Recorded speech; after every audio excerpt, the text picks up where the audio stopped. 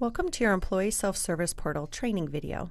The next five minutes or so will provide information on how to navigate through the site, as well as perform specific functions.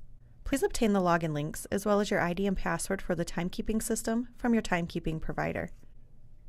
The Employee Self-Service Portal is a convenient way to empower employees with self-management permissions via the Internet. The first page is the Welcome Dashboard, which contains announcements and statistics specific to your login. Announcements are messages that the management team would like to share with you, such as a company lunch, annual review appointments, and so on. You can access various pages from the left menu. The first is the web clock, where you can clock in or out, or if applicable, enter additional information such as job, department, tips, mileage, or anything that applies to your company's requirements. Next, you can perform a number of functions through the time card. Primarily, you can view your hours worked. Depending on the permissions given, you may be able to add a note to the time card by clicking on the pencil icon. You may also be able to add or edit your time card, as well as approve the time card at the end of the pay period. The approval process is simple and ensures that you have made a full review of your time card. This can be accomplished in two ways. One, select specific days by clicking on the yellow image, then hover over Time Card Options, Approve Time Card, then click Approve Selected. The second option is to approve the entire pay period by choosing Approve All Entries.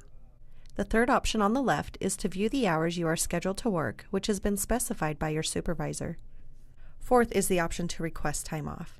This is one of the features that is most utilized because it creates convenience for you and saves time for your manager. You will choose the category from the drop-down. The options are set specific to your company's requirements. Next, choose the date, the amount of hours, and provide a description.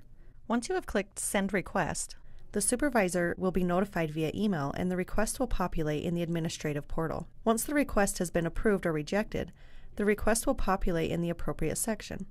If your manager makes an adjustment to the request, it will be considered conditionally approved, which means you will need to either accept or reject the manager's change. Next, you can run an accruals report. The accruals feature will have to be activated before this page calculates. If the settings are in place, you can see how many PTO hours are available for a specific date range. This allows you, as the employee, to plan your personal time off accordingly.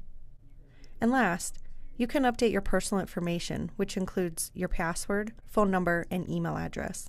Also, you have the option to receive an email when your time off request has been approved or rejected, but you do have to opt in by checking this box. We hope you enjoy the Employee Self Service Portal, and thank you for watching this video.